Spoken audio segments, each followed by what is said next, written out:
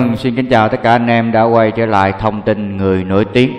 Hồng Đào khoe con gái 17 tuổi.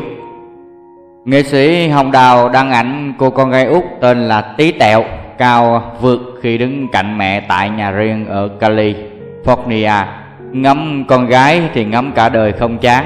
Các mẹ có đồng ý không? Vâng, à, diễn viên Hồng Đào viết trên trang cá nhân vào sáng ngày 14 tháng 10 như vậy. Hồng Đào chụp ảnh cùng Tí Tẹo nhân dịp khi mà con về thăm nhà sau một thời gian đi xa học.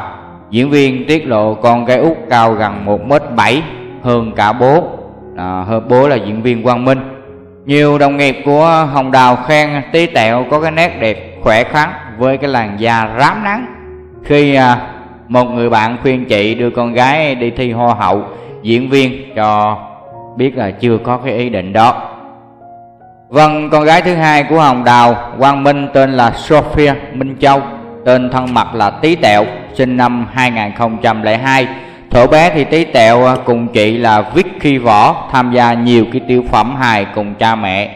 Hồng Đào kể chị và Quang Minh từng chạnh lòng khi hai con trưởng thành bắt đầu rời xa gia đình để tự lập. Quang Minh chồng cũ của Hồng Đào thì cũng có lần bật khóc thành tiếng khi bước vào căn phòng trắng của con. Sau khi mà cô bé dọn phòng, dọn đồ đạc đi học xa, một lần con gái trở lại trường sau một thời gian thăm nhà, cô bé nhắn tin cho tôi và dùng cái từ là về trường thay vì đến trường tôi buồn cả ngày vì điều đó. Hồng đào kể như vậy đó. Con gái lớn của hồng đào thì đã tốt nghiệp trường đại học là santa barbara của mỹ đi làm xa nhà thỉnh thoảng ờ, mới về thăm gia đình. Gần đây thì hồng đào cũng trở lại với công việc sau một thời gian điều trị suy nhược, diễn viên cho biết trong cái thời gian nhập viện, chị ờ, được gia đình bạn bè, bác sĩ hết lòng quan tâm. Còn gái lớn nghỉ làm vào viện chăm sóc hồng đào, bố mẹ ruột hỏi han, nấu cho chị từng bữa ăn. Đồng nghiệp cũng vào viện thăm, tặng thuốc bổ cho chị uống. Tôi lấy lại sức từ những cái yêu thương, giống như những lời của anh đồng nghiệp anh tin là hồng đào nó sẽ khỏe. Khi cả đoàn chờ tôi cho một dự án quan trọng, chị kể như vậy. Gần đây, nữ diễn viên cũng tham gia nhiều cái hoạt động như là vở cải lương lan và đẹp, hay là đóng à, phim phượng khấu, hay là thưa mẹ con đi, ngôi nhà bướm bướm vâng à, sau khi mà ly hôn nghệ sĩ quang minh, thì chị cũng à, xếp xếp cái lịch đi về giữa mỹ, trong nước để lo cho hai con và cả bố mẹ. Hồng Đào tên thật đầy đủ là Nguyễn Đình Hồng Đào, sinh năm 1962. Chị biết đến như một trong những cái nghệ sĩ thuộc thế hệ vàng của thành phố Hồ Chí Minh thập niên 90 bên cạnh Thành Lộc và Hồng Văn. Vâng, cảm ơn các bạn rất là nhiều à, đã theo dõi video của mình. Vì mọi người cũng có thể thắc mắc là Hồng Đào à, sẽ ly hôn à, Quang Minh như thế nào thì mình cũng thông tin lại cho các bạn như thế này. Hồng Đào và Quang Minh ly hôn sau 24 năm chung sống á. Khuya ngày 22 tháng 7 thì diễn viên cũng ờ, viết trên trang cá nhân ờ, về cuộc hôn nhân của chị đã kết thúc. Hồng Đào viết trên ờ, trang cá nhân như vậy, mình sẽ thông tin lại cho các bạn những bạn nào đã xem rồi thì các bạn cũng thông cảm. Còn cho những các bạn chưa biết thông tin, thông tin thực ra chúng ta chưa có biết thông tin thì thông tin vẫn là mới. Các bạn nhớ like, subscribe. Buổi sáng Cali thật yên, tôi ngồi suy nghĩ đủ thứ nhiều việc xảy ra với tôi. Tôi vừa bước ra khỏi cuộc hôn nhân hơn 20 năm Lại vừa đưa tiễn một người bạn thân đã ra đi mãi mãi. Có những thay đổi bất ngờ là mình ngơ ngác. Mới nhận ra rằng là cuộc sống chẳng bao giờ đi đúng theo kế hoạch của mình. Vâng, diễn viên chia sẻ là chị mong những cái câu chuyện không vui của hôm qua sẽ được khép lại để chờ đón những cái điều mới mẻ trước mắt. Diễn viên Quang Minh, chồng cũ của Hồng Đào thì vẫn giữ im lặng khi được hỏi về chuyện riêng. Họ có hai con chung là Phương Văn và Sophia. Nhiều đồng nghiệp như là Hồng Văn, Lệ Quyên, Đức Tiến cũng đồng cảm mong Hồng Đào sớm vượt qua giai đoạn khó khăn. Diễn viên Đức Tiến, một đồng nghiệp của hai nghệ sĩ cũng cho biết chuyện anh Quang Minh và chị Hồng Đào ly hôn, những ai hoạt động ở Mỹ đều biết hết. Hơn một năm nay cả hai không còn đúng chung sân khấu thời gian qua thì họ giữ im lặng, nên những cái đồng nghiệp cũng ờ, không hỏi han thêm, không muốn khơi chuyện buồn của họ. Tôi thấy tiếc cho cuộc hôn nhân của họ. Hoa hậu thu hồi thì nói với ờ, đôi nghệ sĩ này có cuộc chia tay rất là nhẹ nhàng, nhiều người tiếc nối cho cái cuộc hôn nhân 20 năm của hồng đào và quang minh. Tôi thì không.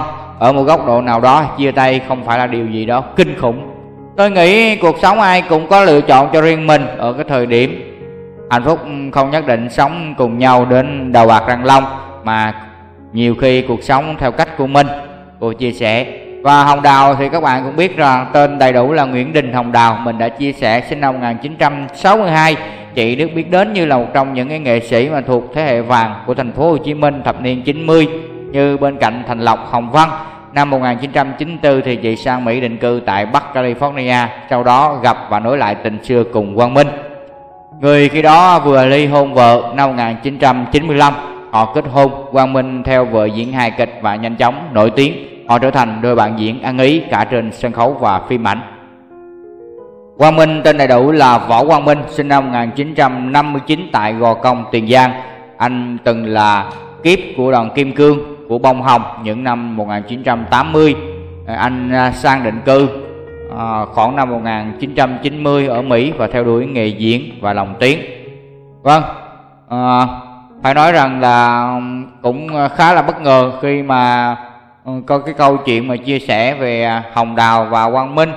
À, mình cũng chia sẻ lại cho các bạn để các bạn biết rằng là um, có những cái câu chuyện mà các bạn bất ngờ văn thì quang minh cũng từng kể với chúng tôi rằng là à, hồng đào rất là vụng nấu ăn diễn viên hài này chia sẻ rằng anh từng dở khóc dở cười vì à, vợ cũ của anh là uh, hồng đào á nấu canh chua nhưng quên bỏ me.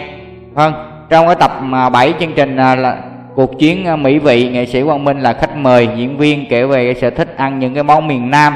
Anh nhớ lại vào những cái thập niên 1990 khi mới cưới nhau ở Mỹ thì vợ anh à, vợ cũ anh là diễn viên Hồng Đào à, biết là chồng thích ăn canh chua kho cá tổ à, nên à, đi học nấu ăn. Lần đầu thì à, thử món vợ nấu. Vâng thấy có vị lạ anh đành nói thật để cho vợ rút kinh nghiệm.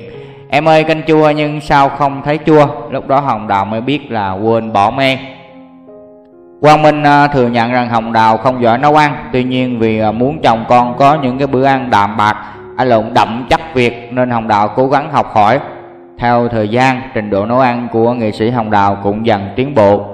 Đôi khi Quang Minh đi công tác xa, diễn viên hải ngoại còn nhớ các món vợ nấu. Một trong những món ấn tượng nhất với cái tay nghề nấu nướng của vợ anh là canh Phượng Hoàng. Vâng, cuộc chiến à, Mỹ Mỹ vậy là sắp phát sóng à, tập thứ bảy là chương trình mà Quang Minh cùng với nghệ sĩ có dịp tái ngộ khán giả sau à, dịp Tết Nguyên Đán. Diễn viên nhớ những cái ngày mới sang Mỹ, ngày anh có truyền hình cáp coi được một số kênh ở Việt Nam. Đêm giao thừa khi TV chiếu cảnh mọi người trộn rộn chân mai đào, pháo, đi đung.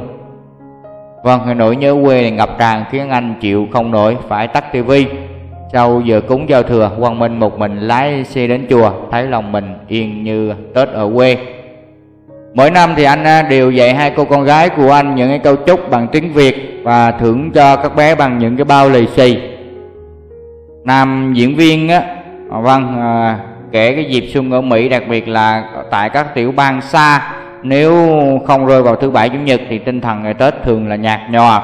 Người dân phải lái xe khoảng 3-4 giờ đồng hồ để đến các à, nơi mà đồng hương tụ họp cùng nhau. Không khí nơi đó rất là sôi nổi ấm cúng. Nhưng chỉ cần bước ra khỏi chỗ gặp gỡ là làm chúng tôi trùng xuống vì nhìn xung quanh chỉ toàn tuyết trắng xóa. Anh kể như vậy do bằng công việc thì quang minh và hồng đào thường xách vali đi diễn ở khu Lister Sài Gòn vẫn còn nô nức không khí Tết Đến khi về nhà, ngày Tết cũng đã qua, người dân xung quanh trở lại nhịp sống như trước. Những ngày xuân thì vợ chồng nghệ sĩ thường đi diễn ở các tiểu bang xa xôi, nơi kiều bào, ít có điều kiện hưởng cái Tết trọn vẹn. Hồng Đào và Quang Minh kết hôn năm 1995 tại Mỹ có hai cô con gái. Thập niên 1990 họ nổi tiếng với các tiểu phẩm hài trên sân khấu hải ngoại. Năm 2016 cả hai về Việt Nam tham gia một số game show và đóng phim chung. Vâng, thì cái thông tin à, tiếp theo mà chị em, anh chị em cũng thắc mắc là Hồng Đào và Quang Minh chia tay thì nó như thế nào? Vâng, và giờ thì họ đã đường ai nấy đi. À, những cái câu chuyện rất là buồn phải thật sự rằng mình cũng đã từng thích cái cặp đôi này không cuồng ngào không đánh bóng và không scandal và rất là có duyên hài. Tuy nhiên bây giờ họ đã đường ai nấy đi. Đó là một trong những cái nỗi buồn dành cho những người hâm mộ các fan hâm mộ. À, rất là đáng tiếc. Thôi dù sao thì cũng muốn cảm ơn các bạn đã theo dõi video này. Chúc các bạn sức khỏe. Nhớ like subscribe ủng hộ kênh youtube như các bạn nha. Nhớ nha các bạn dạo này sài gòn điện tăng. Cảm ơn các bạn rất là nhiều. Chúc các bạn sức khỏe. Bye bye.